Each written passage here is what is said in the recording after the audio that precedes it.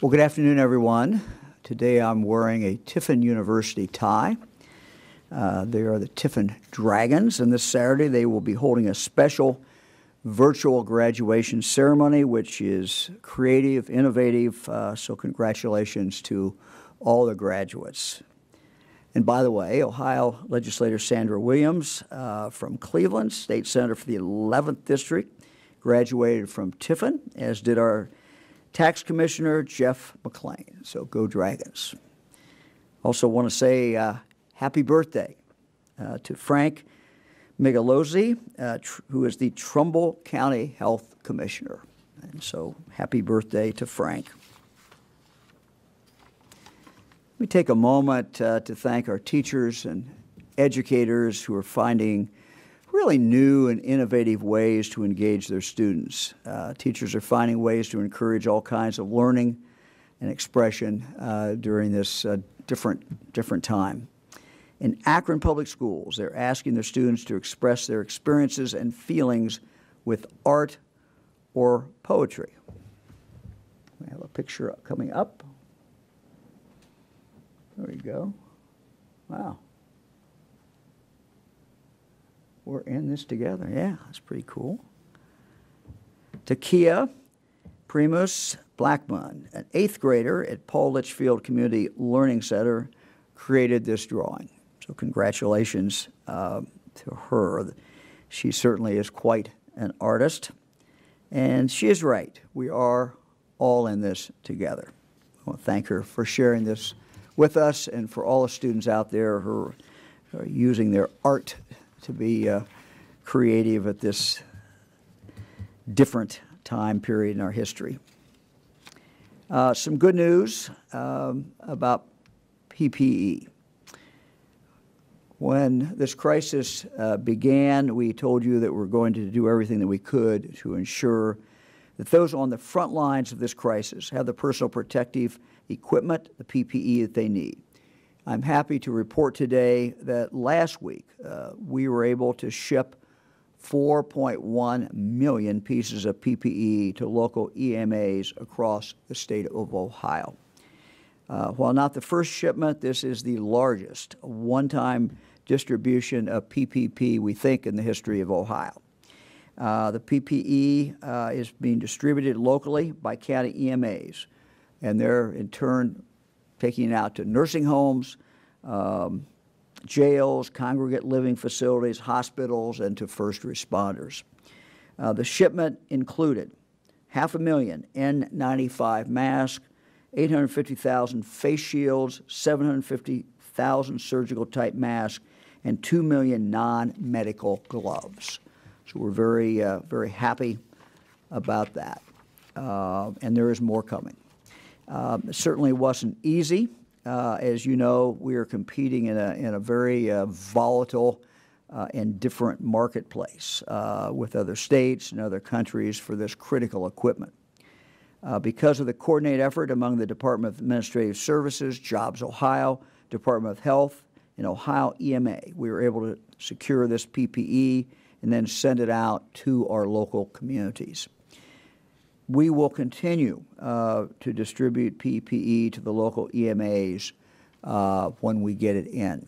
Uh, we're working on this every single day. Uh, you've heard me say this before, but this virus, uh, unfortunately, is going to be with us for a while. And we need to make sure that we have the PPE that is necessary to protect um, our first responders, our medical folks who are out there who are dealing with this problem every day. Our fundamental strategy uh, remains the same. If we can find this PPE in the marketplace, we're going to buy it. And if we can't buy it, we're going to see if it can be made in Ohio. And we're having some good success uh, with Ohio companies who are making the PPE, and we want to thank them. Uh, this really, uh, their response has really strengthened uh, our ability to protect our protectors. And so I want to thank all the companies uh, that are making the PPE in the state of Ohio. We're going to use technology and innovation uh, to identify ways to make the supplies that we have last. Uh, As we have talked about before, Battelle uh, here in central Ohio is doing this right now, sterilizing, ma- sterilizing masks for our healthcare workers. What this means is a mask then can be used up to 20 times. Uh, So that is really stretching the use of these masks. Uh, As we move into this reopening process, as we try to get Ohio businesses back moving forward, uh, we must make sure uh, that we have strong supply uh, chains of PPE so we can continue to fight this virus as we move forward. Uh, we look forward to sharing more information on our PP efforts uh, in the days ahead. We have an announcement now for law enforcement uh, grants that are now available. Uh, the new normal that we find ourselves in today is certainly challenging for all of us, and that includes those in our criminal justice system who must adapt to meet the need for social distancing. Local authorities have worked in new ways to safely carry out their duties and provide much needed support to victims of crime during this pandemic. Has nearly $16 million in grant funding available to help. This funding was awarded to our Ohio Office of Criminal Justice Services as part of the CARES Act, the Federal CARES Act. OCJS is now ready to accept grant funding applications from local law enforcement, probation and parole offices, local courts, victim service providers, and adult, juvenile, and community correction agencies. Uh, with this federal funding, agencies will be able to take measures to help prevent, prepare for, and respond to the spread of COVID 19. It can be used for things including, but not limited to the following cleaning supplies and PPE, overtime costs, new technology for virtual court hearings, um, inmate medical needs, and supplies for COVID 19 monitoring and testing in our local jails. And these are just some of the ways that this money can be used. Uh, we know that this funding will be especially useful for victim service agencies, such as domestic violence shelters. They're having challenges making enough space for social distancing. Uh, this money also can be used for alternative housing, such as hotel or motel rooms, for survivors of violence who need to be quarantined away from their homes due to safety concerns. So, as you can see, the money is fairly flexible, and we would encourage different agencies to apply for it.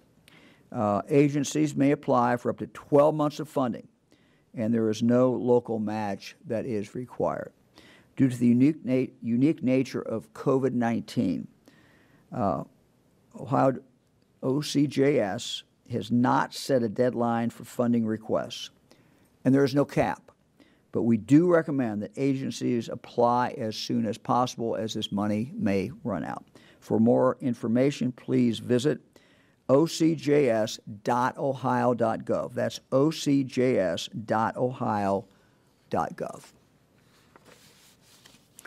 Well, yesterday I was asked about graduation, and I know I have uh, uh, caused some confusion around the state. Uh, we did get calls of people who are happy, but we also got calls of people who were, were confused. And so let me, uh, let me try to clarify that today.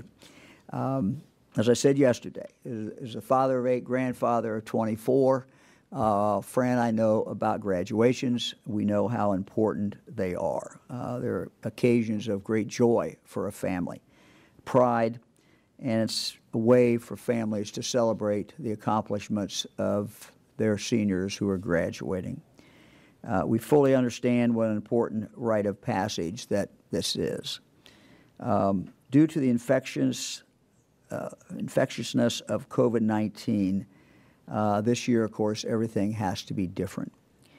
And I want to start by sharing with you something that our son in law, uh, Bill Darling, wrote.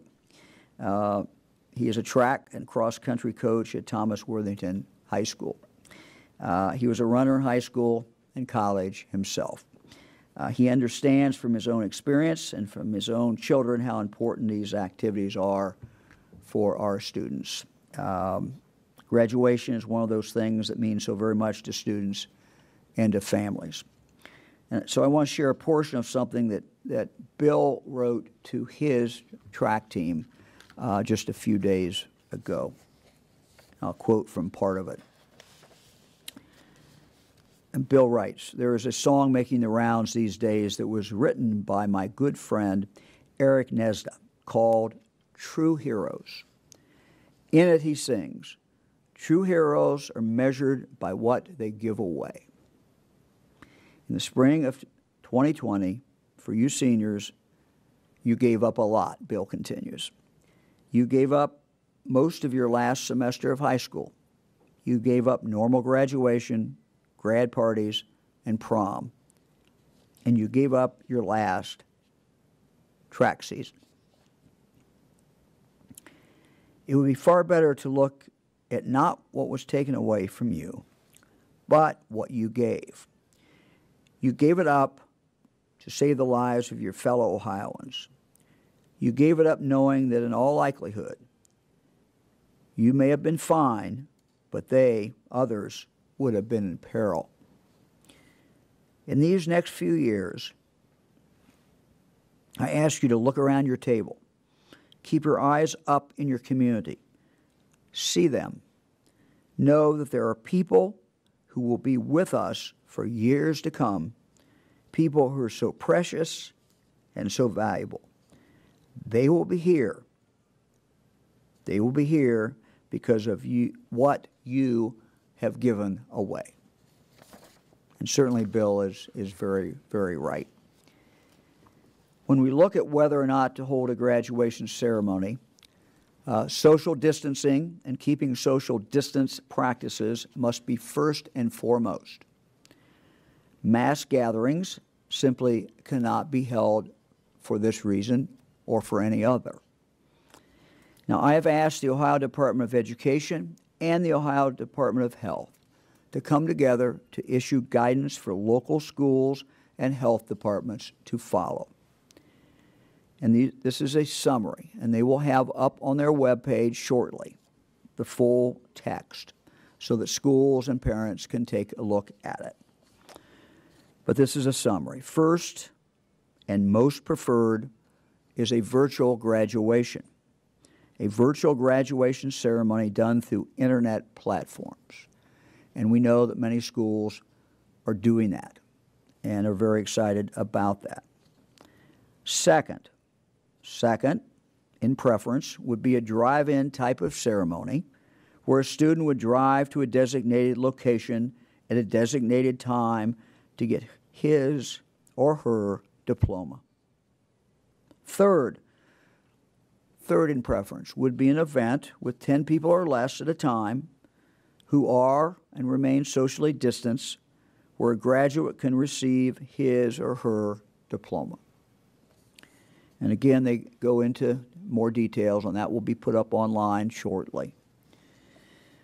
Ohio has 612 school districts.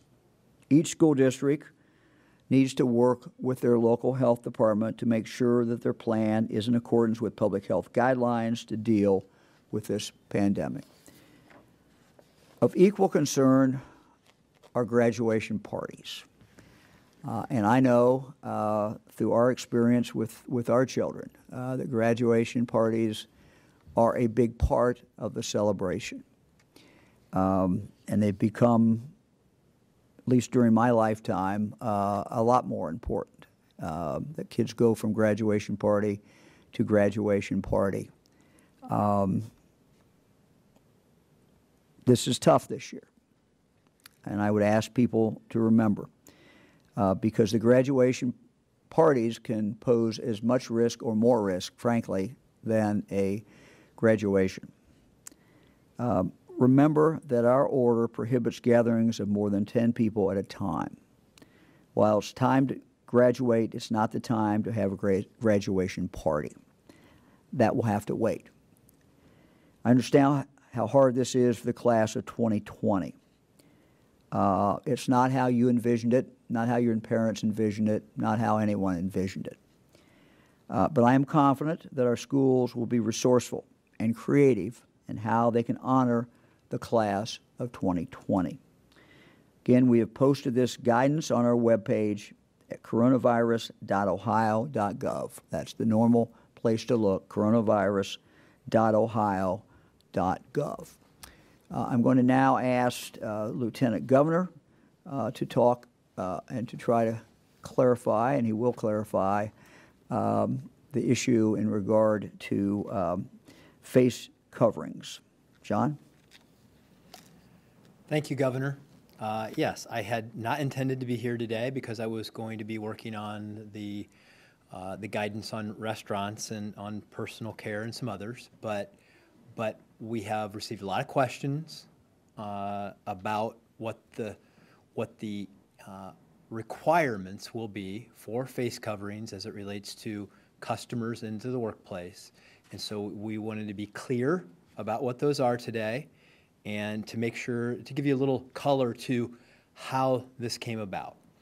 First of all, I'm going to say this to you. You have a governor that listens. He tries to get the best advice from everybody. That's what we try to do. Uh, and as best as you can try to get advice from everybody, there's always going to be an exception. And when we put the business group together, they there were 20 of them, and they were unanimous in saying that face covering should be required for customers and for employees. But we also learned, as soon as that was announced, that there were a lot of other circumstances where a customer or a business found those policies impractical. And so we have worked to clarify the, as best we can on how you should implement this as a business and, a, and as a customer. And let me start with this. Number one, first of all, for Ohioans, when you are a customer in an Ohio business, you should wear a face covering. You should do that. But you are not required to wear a face covering. You should do it, you're not required to do it. And why do we say we should? Is because it's, it's out of mutual respect for one another. This is, a, this is a virus that you can carry and you don't know. We want to protect employees, we want to protect customers. Everybody should do it, but you're not required to do it uh, as an Ohioan, as a customer in a store. So let's now move on to employers and employees. And I'll go slow through this so that you'll have a chance to digest exactly what I'm saying. Face coverings are required while you are on the job. So face coverings are required while you're on the job, with exceptions for employers and employees under the following conditions when an employee in a particular position is prohibited by law or regulation from wearing a face covering while on the job. So there are laws and regulations that prohibit this, and that would be an exception. Wearing a face covering on the job is against documented industry best practices. When wearing a face covering is not advisable for health purposes when, if wearing a face covering, it is a violation of the company's safety policies. Uh, when an employee is sitting, alone, sitting alone in an enclosed workspace. So if you're uh, on the, if you're in a business, you're in an enclosed workspace, there's nobody else around, you don't need to wear a face covering. And when there is a practical reason a face covering cannot be worn by an employee a practical reason. Meaning, for example, as we had people call in and say they work under extreme heat conditions, that the cloth mask would be wet in, you know, two minutes if I, if I had to wear it. That's a practical uh, exception. Um, uh, another case in a manufacturing facility where there needs to be a clear line of communication was one example that was provided to us where it could create a safety concern because employees who are handling heavy equipment can't hear one another. These are all, uh, these are all um, exceptions for employers' employees, and if you believe you qualify for one of these exceptions, then your business, if you believe that your business or an employee qualifies for these exceptions, you must provide written justification upon request. And, and let, me, let me be clear about this. What, what our goal has always been is to be firm in that we know that we protect each other when we wear these masks.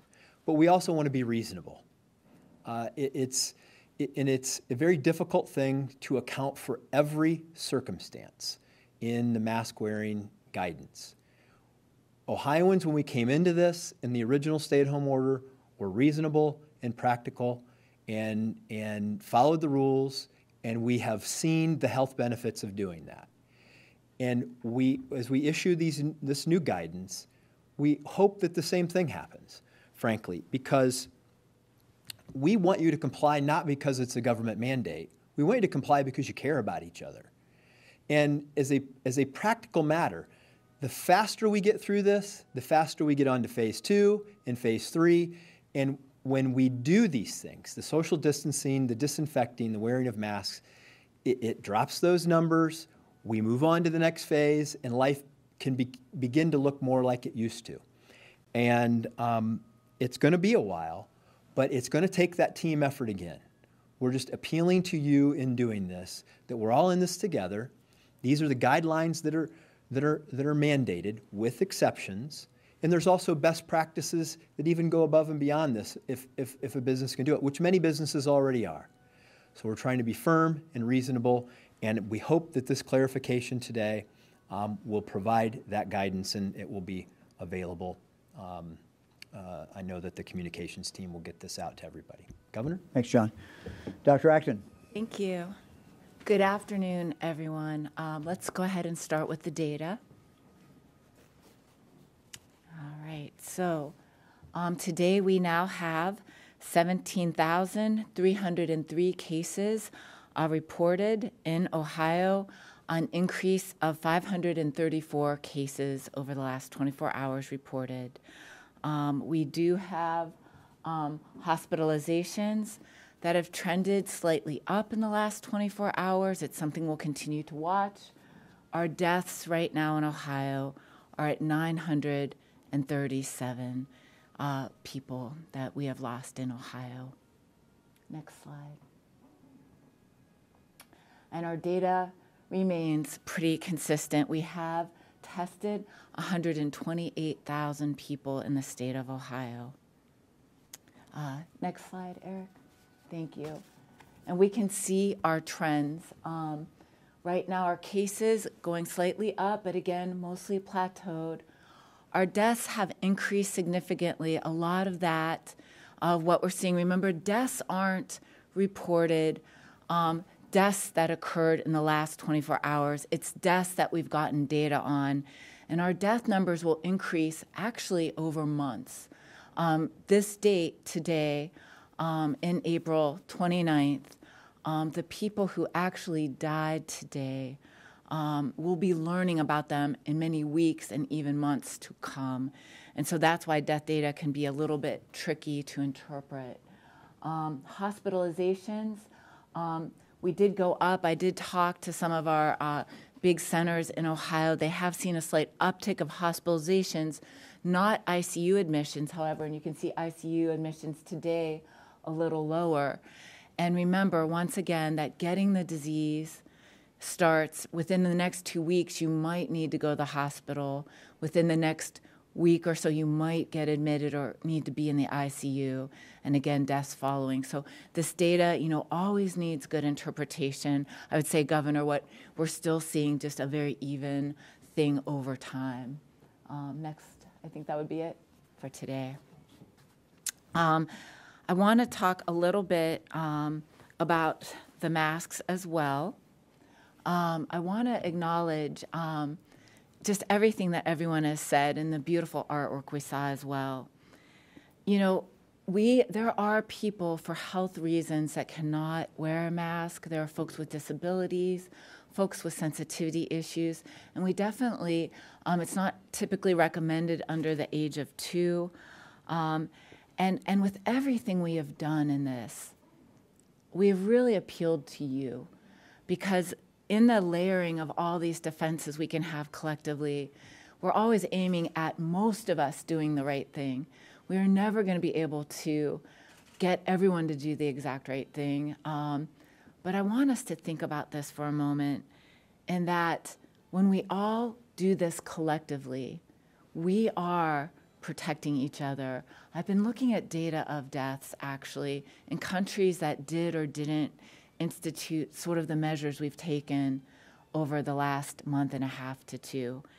And even looking around the country, what Ohioans did together drastically decreased our illness and it drastically decreased our deaths compared to many places around the world. And we didn't do that just by ordering it, we did it by all of us doing it together. We have to think about the fact that when I see you wearing this, I know you're not just, you're really not doing this for you. You're doing it for me. You might be doing it for my child who's immunocompromised. You might be doing it for my parent. And every time I see someone doing this, that's what I see.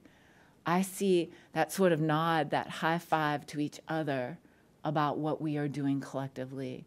And it will take all of us doing this together. I see a culture change happening. I see people taking sort of what are some hard and difficult things and joining together in a, in a solidarity. This is a team sport, Ohio. This is all of us collectively. Our outcomes going forward, our ability to get around and move around and do more. The more we do this, the sooner we get out of it, and the more people that will live with us to be at that next Thanksgiving table, that next graduation. And to those of you who are graduating this year, the class of 2020, I'm already seeing the advice we'll be putting out with the Department of Education is some of the most creative things I'll ever see. The virtual graduations, the drive through celebrations, the wedding I just saw pictures of in the newspaper, where people went out in the middle of the street and the neighbors were banging out from every house, drawing hearts on the sidewalks, joining in together is a wedding that will be a forever memory for that couple. And it is not like any wedding, it's not the one they planned, but it's the one that they'll really remember at this point in time. What did we remember that we did during this time to help each other? And 2020, when you have that five year reunion and you're all together, you will be that class that actually lived through this together and have that memory. So it's a new memory and it's a special memory. So, Ohio, let's Let's do this together. Thank you, Governor. I do have um, information right before we get to questions. Um, this will not take long, but this is Social Security Administration has asked us to make this announcement. Uh, if you get supplemental security income, SSI, uh, you will get your $1,200 economic impact payment from the IRS automatically. You do not have to do anything. Uh, but if you get SSI, have not filed a tax return, and you have an eligible child, you must act now to get $500 per child in addition to your $1,200 payment. Let me read that again. But if you get SSI, have not filed a tax return, and you have an eligible child, you must act now to get $500 per child in addition to your $1,200 payment. By May 5, uh, go to the IRS non-filer web form available at irs.gov. That's irs.gov to give information about your children. Uh, if you miss the May 5 deadline, uh, please go to irs.gov, irs.gov for further information. And for information how, on how Social Security continues to serve the public during this critical time, go to ssa.gov gov slash coronavirus. All right, ready for questions? Hi, Governor. This is Molly Martinez with Spectrum News. My question today is for Dr. Amy Acton. Dr. Acton, I'm wondering why uh, we're not reporting the data on how many people have recovered from this. We are trying to get our hands around that. We're working with our colleagues in other states. There hasn't been, um, to date, a landed upon recovery definition. And so, uh, in addition to a lot of other data, we're really trying to figure out the best way to report that. Um, we know, for instance, that we haven't tested a lot of the mildly ill people, so I have no way of knowing the people who have stayed at home had this or, or been asymptomatic and had this and who have recovered. We are working with our hospitals, though. For people who have been hospitalized, we have a date, a line in the sand, at least that we know they had the disease. And so one could assume maybe 14 days after that, they have recovered. However, some people go longer. Some people, um, a family member of ours was in the ICU, you know, for over 20 days, um, certainly more than the 14 days, and is still recovering. So that, that definition of recovered has been tricky. It's something we will eventually have and we'll eventually have better data on. But I just want you to know we're working on that. It's not something we're hiding, it's just a complex thing to quantify. So thank you. Kevin Landers, WBNS 10 TV. My question is for the governor. Um, my question regards masks. Uh, it created quite a firestorm yesterday on social media, both for and against masks during your comments yesterday. And I spoke to a business owner who says that by not mandatory, man, making mandatory masks for customers, you're basically forcing businesses to be both law enforcement and enforcer, and they say that's simply not fair and they want to know why mandatory is not in the best interest of everyone as opposed to a recommendation, which is basically on an honor system. And if you've been to a grocery store lately, you can see people simply aren't wearing masks as they should. Thank you. Uh, we talked about that yesterday. Um, I understand that. We think that is the best practice. I will again encourage every Ohioan who goes into a store to wear a mask. But what became apparent to me um, in, in a quickly uh, after we'd announced that mandatory for people going into stores that this was something that a significant number of Ohioans just simply would not accept. Um, and that was my judgment that this was a bridge too far. We'd ask Ohioans to do a lot of different things. Uh, we've recommended a lot of different things. Uh, but this one was one that a significant number of Ohioans felt the government telling them to put on a mask before they go into a store was offensive. Um, and we heard a lot about it. Now, the fact that we heard a lot about it is is not determinative. But my judgment was that this was simply not acceptable to people, um, and we can make suggestions. Uh, we've made a lot of orders, and I've not hesitated to do that. Uh, but this was one where we felt um, that if we could continue to talk about the importance of the mask, uh, the importance of facial covering, uh, that people will start doing this. And I am convinced that Ohioans will do this. Uh, I think when Ohioans understand, and many do, uh, that when you wear a mask, you're doing this for someone else. Um, you're not really doing it for yourself that it is protection for that other person. And that the more all of us can wear masks when we are in together, uh, the better off that we, we are. John? I can, anything? I can add a little bit of that. Actually, the pushback that I received from businesses was exactly the opposite. What they were saying is that you were making a mandate, a government mandate, that you were forcing the business to have to, to implement on the customer. And, and so, under this policy, a business can mandate uh, face coverings for their customers. But the pushback that we got from businesses was that you're asking us to be the police for your policy. Uh, and they didn't like that. Uh, and, and so, again, what I believe we have, what we have uh, confirmed through this is that we want to make it firm that there are, there are, there are good standards, but we want to be reasonable as to how a business implements this. Uh, and as we've experienced from the first round of this, from the very beginning, businesses and people have worked this out very well. Uh, they have been compliant, a- and, and we fully expect that that will continue to happen. We, we have to be civil with one another. We, we have to, to work to respect one another.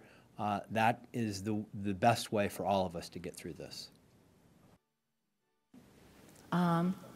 Yeah, uh, Kevin, I just wanted to address your question from the medical uh, point of view. Um, I've been early on um, when I looked at the science, and I had looked at it actually before the Surgeon General and the CDC came out. Um, I talked to some scientists uh, around the world and learned that this was being effective in other countries. So I presented the idea of uni- universal, was the word I was using, masking, as another Swiss cheese layer that's proven effective. Great article in Nature just came out. Um, so there's evidence. Um, the CDC is recommending it. They're not mandating it, they're recommending it. Um, what I looked at, and it's a lot, it's a lot like other public health things that when you first start out, it's really about behavior change and culture change. So when I've traveled globally, again, as a global health professor in other cultures, this is the norm. You would be seen as impolite to be coughing and hacking on people. But we have to get there together as a culture. We have to, this is a very big behavioral change for us. In addition, there are a lot of disparities that I quickly noticed. As much as we think everyone has a bandana or anyone could wear a mask or scarf, and most people could, I'm finding that there are pockets of people that this doesn't necessarily have the same access. So I'm looking at some inequity issues as well. Eventually, in our culture, perhaps wearing masks will be more like something like smoking that we've come to say you know it's not okay you can smoke that's your choice but you can't i can't be a secondary hand smoke receiver in a public place. That might eventually be a culture change we get to. Um, it might be like wearing a seatbelt. We know some people don't wear their seatbelts. Um, but if most people do many lives will be saved. I see it this way this is the beginning of that social contract with each other. Um, this is absolutely not just saving my life. In fact, it's much more saving your life. When I follow traffic laws, and you see this in countries where there aren't any, you know, we save lives by following these things. So this is something we're going to lean into very heavily. We're going to have lots of campaigns about it, and we're going to reach as many people. But in the end, at home, I'm telling you, if if you want to do this, join me in this. Don your mask, don your cape. Let's save lives together. Thank you. This question is for Dr. Acton, Jim Provance with the Toledo Blade. Um, and I want to continue along the lines of something you talked about just a few minutes ago. Um, you've talked about the fact that the vast majority of Ohioans remain vulnerable to this disease and that they're, they're still going to be at risk whenever we reopen government. A vaccine is still probably a year away. Given the trends we are now seeing, would it be better, as some other countries have done, to more widely open Ohio's economy with some precautions in place, at least as it pertains to the younger, less risky populations? Would that generate herd immunity faster? Right. Well, herd immunity, and for those of you who might not know that term, um, and we don't tend to think of ourselves as a herd, as humans, but we are. And, you know, even things like immunization, we do it so that, for instance, with measles or other diseases, if 90% of us are vaccinated, there are people in our population who can't get vaccinated kids who have diseases, who have cancer, adults who have that. But when most of us do something, when most of us do it, it protects those of us who can't make that choice. And I think that's, that's really true in a lot of things. Now, in per- pertaining to COVID, um, that has been an argument that has been bandied about quite a bit. If you remember, England tried to go that route originally. They quickly changed course in about a week and a half when they realized that there were just way too many, there's too little we knew and way too many people getting sick and dying. So it's not just who dies, but who gets very sick and has lifelong consequences.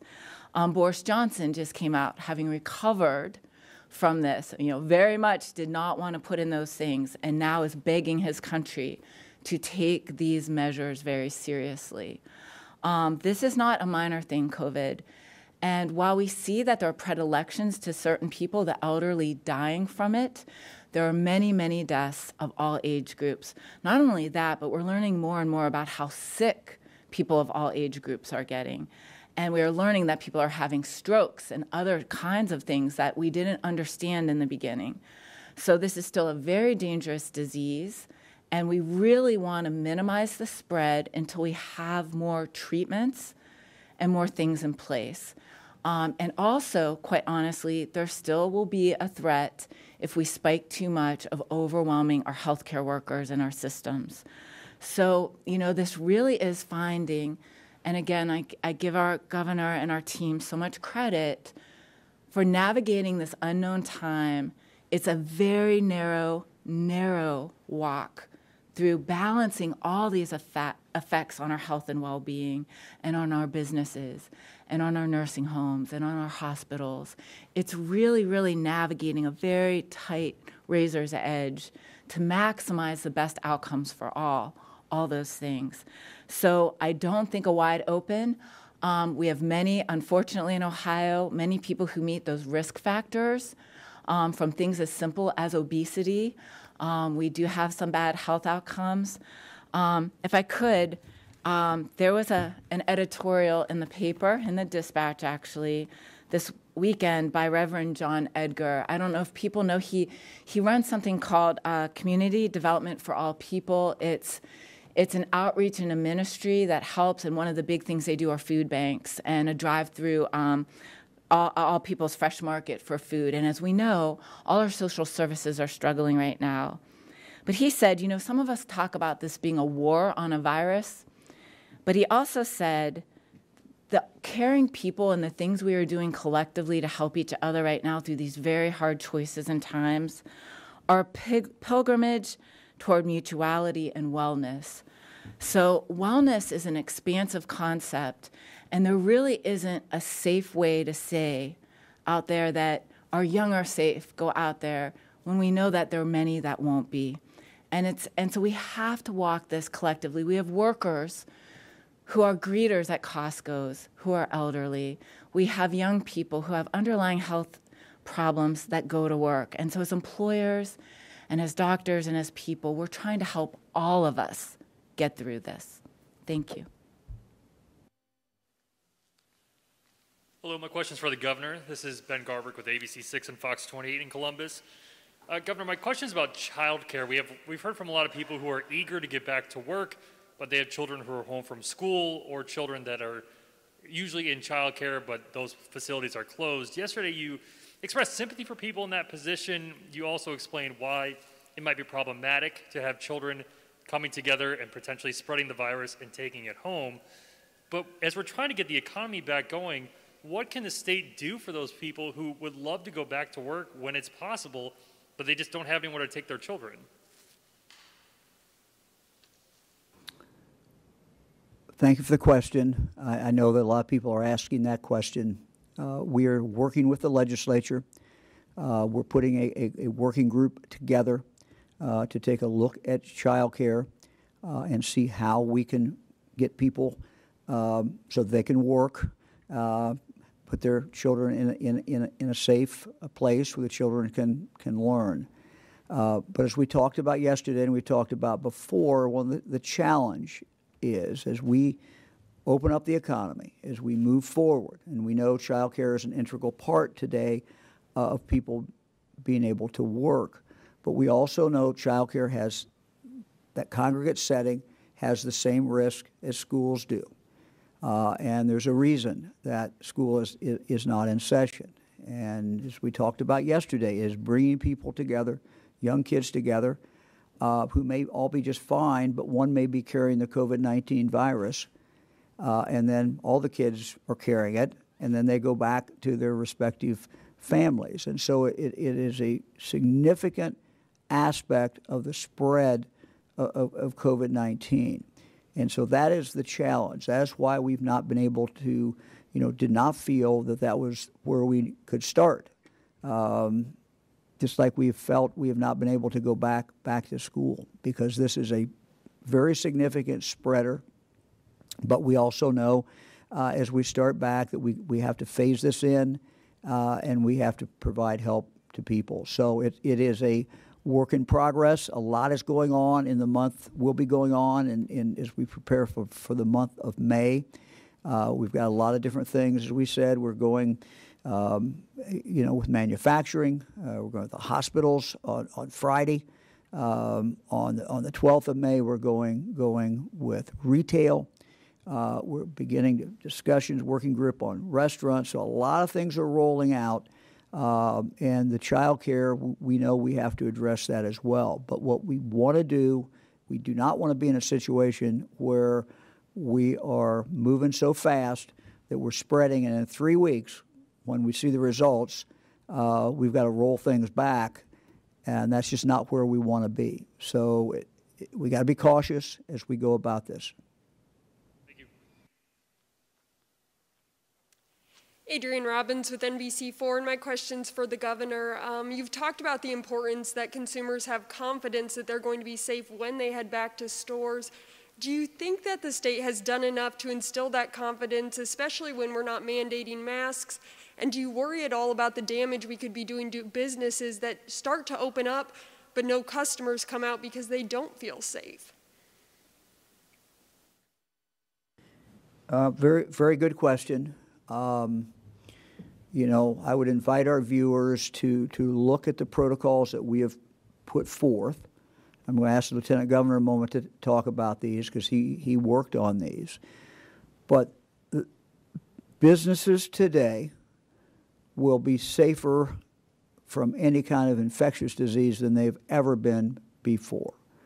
Uh, there are protocols in place uh, as we as we move back towards opening everything up that have never been in place in the history of this country before. Uh, they have been thought out uh, they are uh, significant. They involve social distancing. They involve sanitation. They involve monitoring every employee who comes in every single day to see the health of that employee. Uh, never before in the history of this country have we done this with, with every, every business. John, you want to add anything? Yeah, sure. Sure, Governor. I, look, you know, there, there, are two, there are two issues here. What is the right public policy and what is the right business policy? And our, our responsibility is to come up with the right public policy to provide for both the health and the economic well being of the state. And so Dr. Acton and I often have these conversations, and, and the governor is, is, you know, in the heart of every single one of them. What's the best public policy? And that's what we are articulating. But businesses are going to take different approaches trying to capture customers in a new world. Uh, and so many of them are doing innovating thing, innovative things online. Many of them are doing curb, you know, curbside services. Uh, others I've talked to, businesses, are going to be promoting themselves as the safest place to go do whatever it is that they sell because they're going to talk about all the things that they do to make their business safe for their customers. And I'm sure that that will create both marketing and, and, and customer attraction opportunities for them which we'll, we'll, we'll see. I mean, just like with graduations, it's amazing the innovativeness that you see out there uh, among businesses who are figuring out how to live in, in these times. And so uh, but building confidence in the marketplace is important. That was why, that was actually why the, the 20 businesses that were on our uh, group uh, that are that advised the governor and, and me and Dr. Acton on this. That's why they said face coverings because they thought that that the that in doing it it would create that safer environment where people would feel more comfortable because just because a business is open if you don't have customers if you don't have a market as many of them are many of them are allowed to be open but they're not open because they don't have a, marketplace right now. So your question is very good in the sense that how we build confidence is important. That's what all of this is about. It's about building that confidence amongst the public uh, and i always say when i'm looking at these things i always say what about me? Would I feel comfortable working there? Would I feel comfortable going out and doing this? And the policies that we're making, you know, for me, pass that standard, but it's going to be different. If you're younger, look, statistically speaking, the disease has less impact on you than if you're older and if you have, uh, if you have other health issues. So we're all going to have to make our own judgments. But, but what we have done from a public policy is, is being firm and reasonable, trying to protect health, eh, eh, the health of people and the economy, and businesses are going to go above and beyond this in most cases to try to build that confidence. We set very, t- very tough standards that they have to follow. But in, in addition to that, uh, as Lieutenant Governor said, it is in, it is a merger uh, uh, of the best practices and the best business practices because these companies have to be able to ensure that their workers, people who they're trying to hire, people who they're trying to get to come in and work, they, those workers have to feel a confidence that they that they are in fact safe. Uh, just as a retail business has to make sure its employees are safe and feel safe and they can recruit people to come in, uh, as the same way uh, with with customers. So they, they, they have a economic incentive, uh, good business practice to do this as well as the, the, the mandates that we have, we have set down. This is Jackie Borchardt from the Cincinnati Enquirer. My question is for Dr. Acton.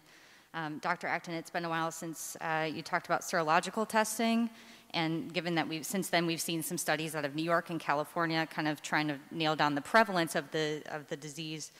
Um, I'm wondering how widespread is serological testing in Ohio today, and is the state collecting that data or conducting its own prevalence study? Yes, thank you for asking. So, again, the science of serologic testing is evolving, but I can tell you, I was on the phone call last night. We have our work group on testing overall that's led by past governors um, Taft and Celeste. And, and just some of the most, it was one of these conversations, I wish you know everyone could hear them because they were just so thoughtful. Some of the best researchers talking about this. We do have some innovative research going on right here in the state to get that good serologic testing. Um, but it's still an evolving science. And I won't go into all the nuances. Someday I'll do a little 101 on serologic testing. But you know, we're still trying to get, um, and the lieutenant governor has been fighting hard to get us uh, those 1,000 uh, tests from Cellex um, that will allow us to do that. But we're very much hoping, we've had the science, we have the study set, we're hoping to begin our prevalence study this Monday. Um, it'll be the first of many studies on prevalence here in Ohio. Um, and we're very excited about that. You've maybe seen the results from some of the first studies done in New York City uh, fascinating results, and we're going to do that very same work here in Ohio. Um, and that will be ongoing. We'll do larger and larger sample sizes over time. But I feel very good about that. And once you start it, it takes about two to three weeks to do the, the um, study and get the results. We also have a very fascinating survey underway, uh, piggyback, piggybacking off of an already existing uh, Medicaid survey that's out in the community. So we can learn more about people's symptoms and risk factors. So we're doing some innovative studies, uh, the like of which we've never had the opportunity to do in partnership with amazing universities here in Ohio, as well as uh, Battelle. Um, I do want to take one moment to um, just add to what um, the governor and lieutenant governor said. I have felt all along that, and I think we really have to avoid this going forward, that there are these sort of false narratives out there that pit things like business is doing well in the economy versus health. And, you know, in a complex world, people are always saying what's bad about this time. I think one of the things that are going to be great about this time that we have learned, I hope, as a lesson, is that um, the world can be very complex and nuanced, and um, and that and that we shouldn't get caught in zero sum games we as a team are constantly fighting to find the win win solutions. And I think we should really hold ourselves to that and aim higher. We've been aggressive on the way in, we're being aggressive going forward. We are not accepting that people have to die to have a good economy or this or that. We are really trying to maximize our well being. And if you think about this, we, 11.7 million Ohioans, are the business owners and we're the customers and where were the workers and where the, the nursing home people. We're in the nursing home and we're the workers there, and we're in the prison and we're the workers there. This, this, we cannot accept leaving anyone behind. These are not, we don't have to have a zero sum game. Let us innovate so we all win together. Thank you. Good afternoon, Ben Schwartz with WCPO. Um, Governor DeWine, we've been hearing from a lot of people who say that ever since word got out about things beginning to start to open back up, they've immediately started seeing people completely ignoring social distancing guidelines. Um, I want to know if you have a recommendation for what Ohioans who are taking social distancing seriously, what they can do if they see something like that. Well, Ben, that's a that's a real good question, uh, and I you know, I referenced that the other day when I looked at the, uh, all the newspaper headlines around the state, and it was talking about opening up uh, and announcements. And uh, my concern was that people wouldn't read the fine print or wouldn't read the story, but would look at the headline and see things are opening up. Um, and they are opening up. We're trying to get, get this economy moving moving forward, but at the same time, we have to be just exceedingly careful. Uh, the virus is still very much out there. It's not gone away. It's not going to go away for a while.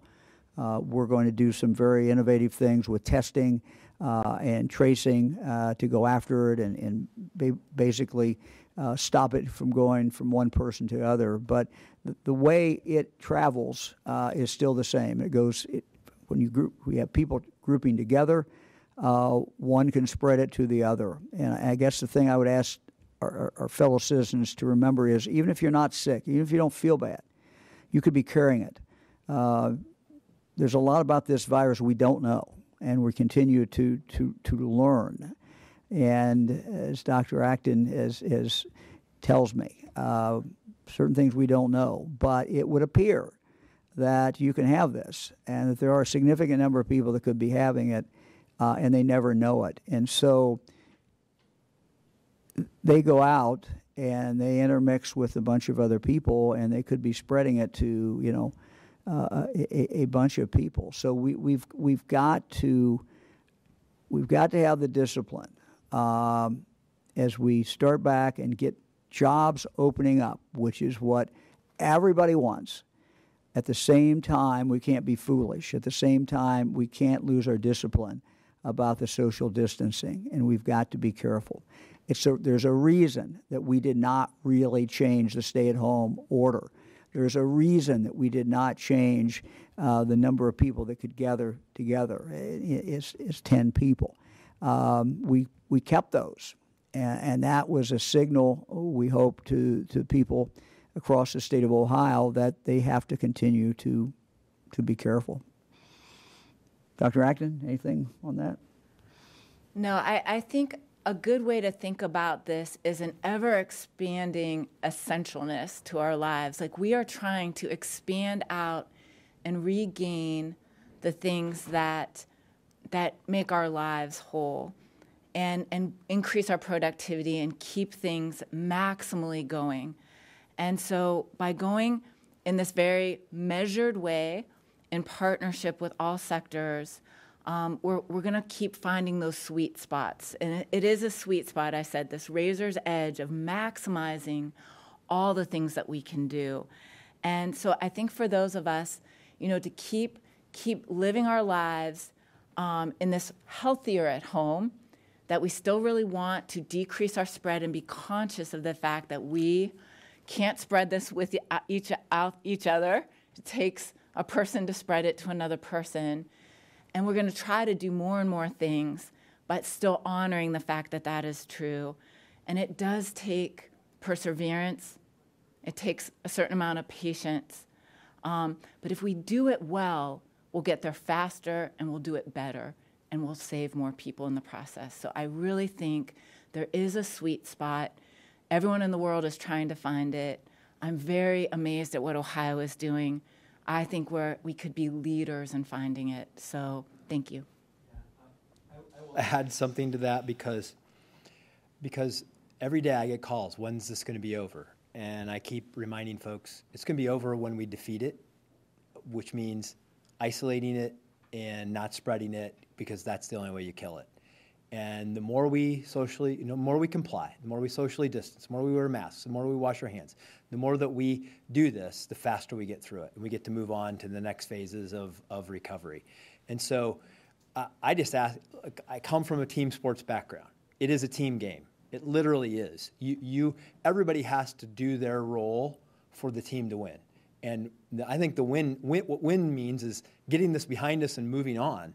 And, and so the more we do this, the faster we get through it. Marty O- Ohio Capital Journal. Uh, Governor DeWine, I have a question for you. Uh, We're talking about reopening workplaces on a day when deaths are going up.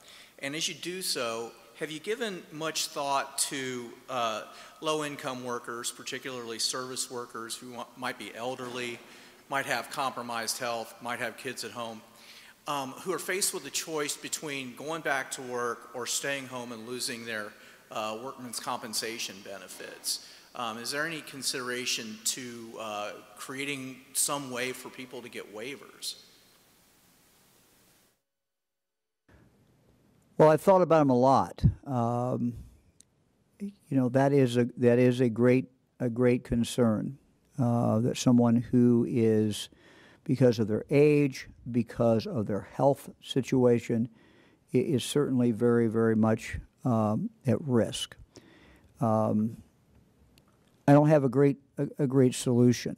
Uh, I do know I was had a conversation with my friend uh, John my mutual friend Albert Ratner in, in Cleveland, uh, and I also talked talked to, to others in Cleveland about this, and in other communities about foundations and others coming together to try to figure out the people who are most at risk, uh, who have to work or feel they have to work, figuring out you know how we can help them. Um, so I don't have the answer uh, today, but it is it yes it, it weighs very heavily on me because there are people who should not be taking that risk, but they feel that they have to, and I fully understand that because of their economic situation, because they're the one the family who earns the money, they have to work uh, to to bring that in. So I don't have a good answer today, but it's certainly something that we we think a lot about, and it concerns me a lot.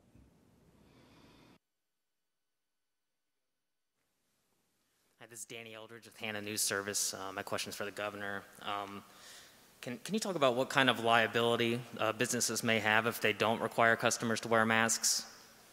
And if their employees get sick? Uh, I'm not going to play lawyer today, uh, um, so I no, I don't. I don't have a comment about that. That would be a, you know, people should obviously talk talk to their their own lawyer about that. Um, you know, this would be an area, uh, I would suspect, an area of the law that is not really defined. Uh, and my guess is, I don't know this, but my guess is there aren't too many court cases directly on point about about that. So again, under our order, any business has the right to require anybody walking in that store uh, to have, have facial covering. Uh, we just did not mandate that they had to do that. But they have the right to do that, and they could and they can do that if they if they wish to do that. You say it's good advice to uh, mandate those if you want to avoid lawsuits?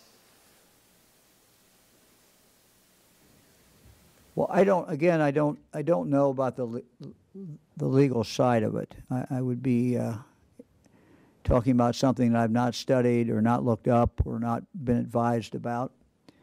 Uh, we we know uh, from a health point of view uh, that having people wear masks coming in, a facial covering is is is the best thing. Uh, again, I'm the eternal optimist, as my wife will tell you. Um, and I'm hoping uh, that as we move, continue to move through this, that people will understand that it is, uh, unless they have a physical reason for not wearing one, and some people do, uh, but if they don't have a physical reason, that uh, putting on a facial covering, something like like this, it doesn't have to be as pretty as this, or my wife Fran made this, but just putting something so you're covering your, your mouth and your and your nose is a protection for everybody that you come you come in contact with. And I, I think we're, you know, we're on a journey through this. This is uncharted. None of us ever been here before. Uh, but I, I think as we go through it, and the evidence is, is clear, that when you put this on, you're, you're not so much protecting yourself as you're protecting others. And when everybody does it, you, you, you layer on, as Dr. Acton said, another layer of the Swiss cheese, and uh, you cover some holes and you give more, more protection. So I'm hoping uh, that more and more people will, will do this. Uh, we just came, I just came to the conclusion that mandating it in a retail setting was something that Ohioans just weren't ready uh, for the government to tell them to do it. But what I hope is that their own, their own sense uh, of right what they should do will tell them to do it. That's what I'm hoping. Governor, if I, if I could add a little bit to that, because the question is about masks, and understand that, that there are legal reasons that businesses can't require masks. Um, There are, there are literally in some food settings that it's, that having a cloth mask is, is not allowable. Uh, It's not an industry best practice. It's, uh, the individual employee has a health reason that they don't want to wear a mask or can't wear a mask, and you, you really can't ask them directly uh, uh, about that because you're, you, you uh, uh, because of uh, health rules and privacy rules. Um, so there, there are reasons, there are legal reasons that you can't require a mask, and that's why, you know, as the governor's point, this, there, this is not tested. Uh, these are best practices. These are things that we're requiring because we know that they will help in the aggregate. But an individual setting is different from business to business. Hi, Governor. Andy Chow with Ohio Public Radio and Television, State House News Bureau. I want to talk about face masks. Um, you've mentioned that, you know, on Monday after you announced the face mask mandate, that the reversal kind of came because of public input. But what about in the last 24 hours? Have you heard a backlash from people who were in favor of the mask mandate? Uh, what do you tell them? And does the input from the anti mask mandate side weigh more than the people who were for a mask mandate? Uh, you're right, Andy. I've heard from everybody, it seems like, about this. Uh, people feel very, very strongly about it, uh, at least the ones I've, I've heard from. Um, this was not an easy uh, decision. Uh, we want people to wear, that can, unless there's a reason they can't, we want them to wear the facial uh, covering. And look, in making these decisions, eh, we don't take a poll. We don't see how many people send an email to me. We don't see how many people call me. Uh, but, you know, I've lived my whole life in Ohio. I'm in contact with average Ohioans every single day. Now, not in person, but um, in other ways today. And we put we have asked Ohioans to do a laundry list of things uh, and we mandate a bunch of things, and they've done them. By and large, they've done them. Uh, but when we got to the government telling an Ohioan, if you're going to walk into a resale establishment, we're going to compel you to put on a facial covering, it was clear to me, uh, and, should have been clear to me before I made the, the, the mandate uh, that that was just too far, f- and that there's a significant number of Ohioans who were offended by it, uh, thought this was government overreach. Um, as we go through this, we've gotten this far. We've saved the lives we've saved, not because of what I have mandated or Dr. Acton has mandated, but because of what Ohioans have done. And if we lose that feeling that Ohioans and their willingness to do some tough things and to do some things that they've never done before, none of us have ever done before. If we lose that willingness, uh, then it will be disaster. Uh, we will lose many, many more lives. Uh, our business will not come back. Um, so we can't lose that sense of here's what we're all in this together and here's what we've got to do. Uh, and, and so my decision uh, was that that was clearly too far. But again, I'm hoping, I'm the optimist, that Ohioans will study this, look at this, and say to themselves, I'm going to the store, I'm going to the grocery store, I'm going to the jewelry store, whatever. It is really not a, a- great inconvenience when, when I get out of my car to put that facial covering on. Uh, and, and I'm convinced that as we move forward, more and more Ohioans will, will do that.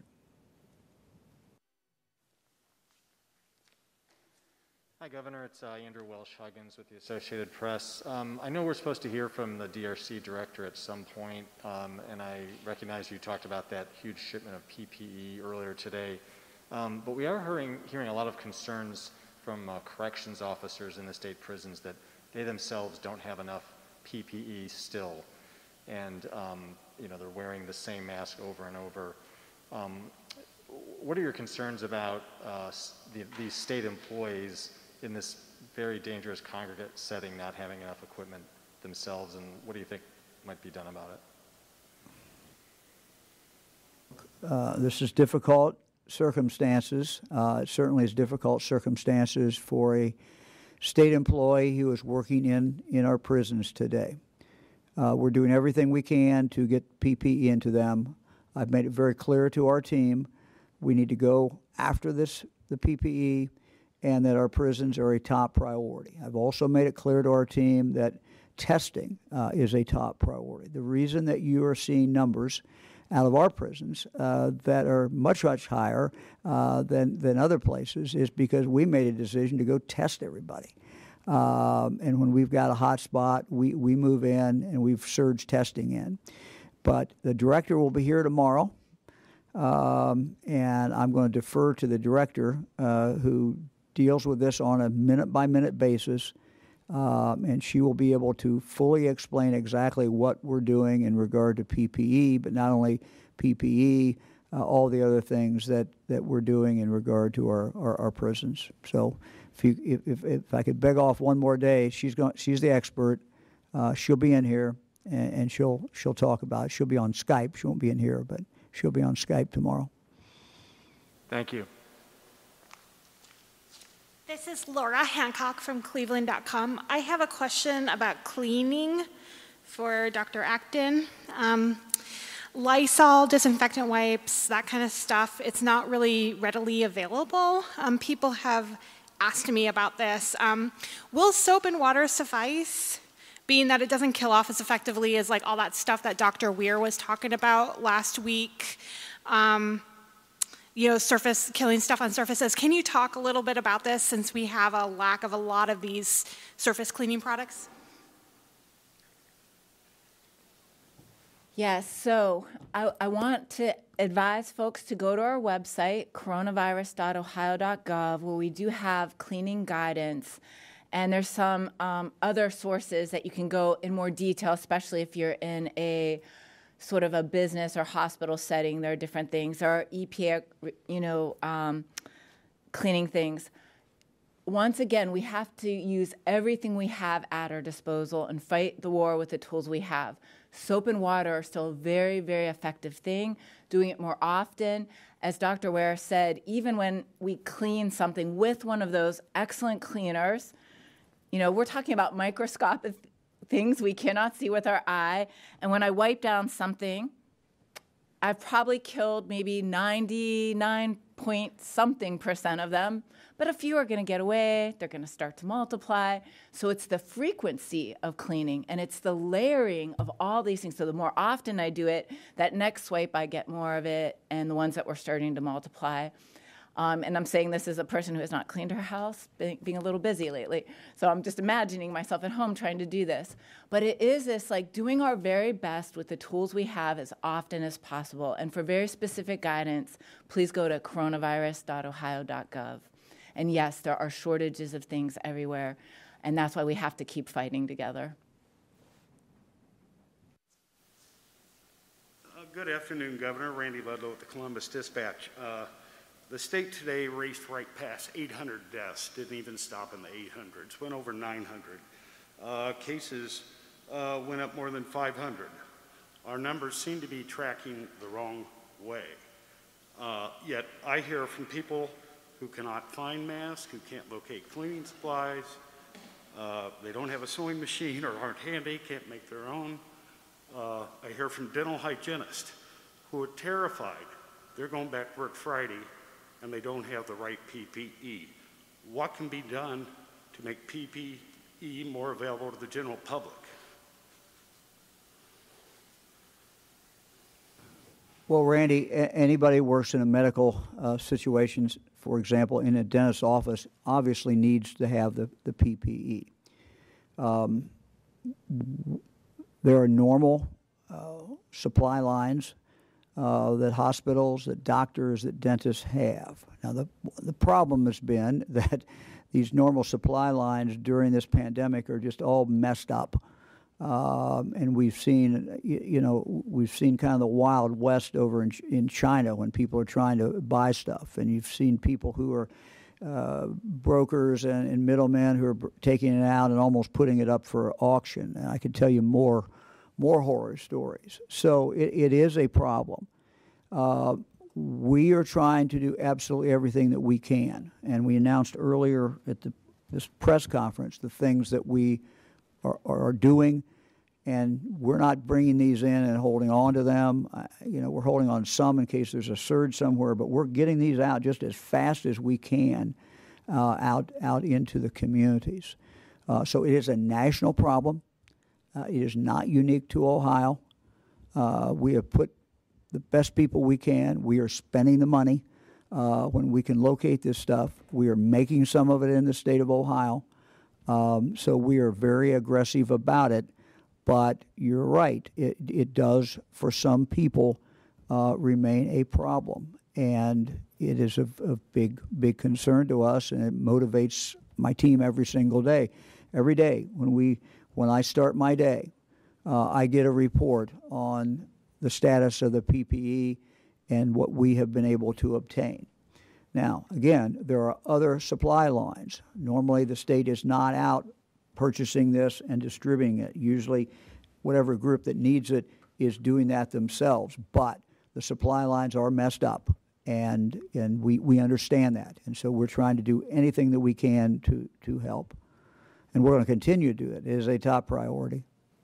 Governor, can I add one, one point to that? Um, under our, un, under the rules, if you cannot supply the safety equipment and comply with the standards, then you cannot open. So that's a really important part to remember about all of this. Just add, I'm not the expert on this, uh, Randy, uh, but uh, there's a lot of ways to make facial covering. Uh, and a facial covering is obviously not, not um, uh, the N95 mask. It's not, you know, it is facial covering is basically, as Dr. Acton has explained, to protect not me, but other people. But, but I've seen people take all kinds of different things and just literally put it around, and they're covering their nose, they're, they're covering their, their face. So um, I know a lot of people are making them and coming up with some great, great designs, but it's also, I've seen some people do it in a very, very simple way. Governor, this is Laura Bischoff, Dayton Daily News. I'm the last question. Um, I wanted to ask you about colleges. Um, Urbana University is closing. Um, University of Dayton is furloughing 450 workers and laying off others.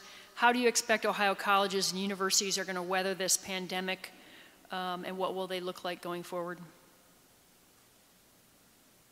Uh, Laura, I don't know, uh, is of great concern. Uh, I wear a tie of one of our great universities every, every day, or most every day.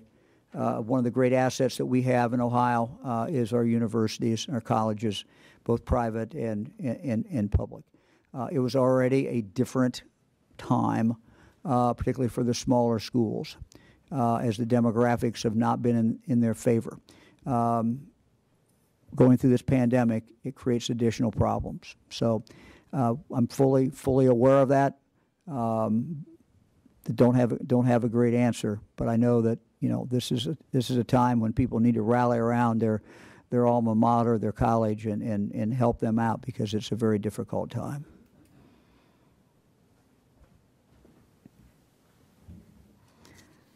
And continuing to speak about colleges, uh, This year's graduation uh, will be different. Uh, Tiffin University, as I said, is planning on celebrating with a virtual commencement ceremony online this Saturday, uh, May 2 at 2 p.m. As part of the virtual ceremony, they'll be featuring a virtual choir, uh, a recording made by their students singing the song World on Our Shoulders. The song features the lyric I'm here standing with you, here standing with me, standing with the world on our shoulders. The song has a great message, and it's an example of the creativity that can be part and is a part of the graduation ceremonies for the class of 2020. So let's take a listen as we close.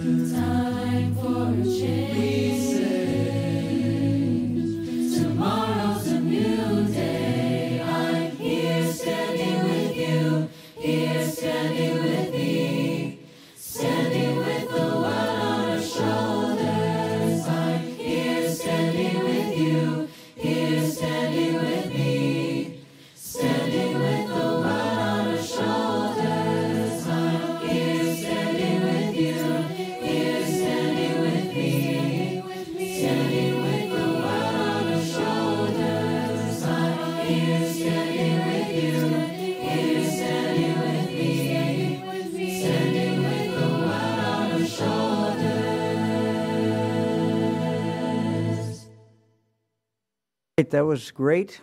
Tiffin Dragons. We'll see you all tomorrow at 2 o'clock. Thank you.